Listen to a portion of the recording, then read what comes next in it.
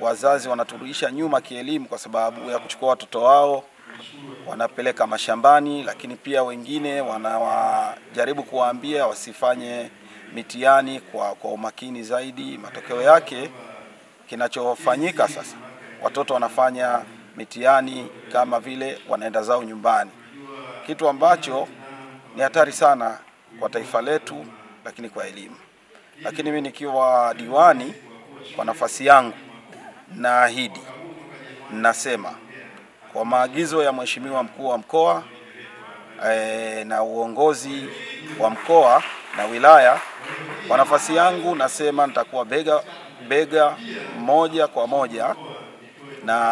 wadau wa elimu, kwa maana ya kuwa walimu wa mashule husika, lakini maafisa elimu taaluma na maafisa elimu wa halmashauri kuanzia sasa hivi, japo ni kazi ambayo tulikuwa tayari tumeshaanza kuifanya na nilishaifanyia eh, research nikagundua hivyo vitu. Nasema hivi, naahidi kupita sehemu moja baada ya nyingine, kwa maana ya kuwa kaya kwa kaya, kuhakikisha watoto wote wanaingia madarasani na wanafanya vizuri. Lakini pia kuna jambo ambalo tuta, tutajaribu kushauriana na viongozi wa elimu e, tujaribu kuwawekea testi kwa kila labda baada ya wiki mbili, tuone performance yao inakuwa iko vipi.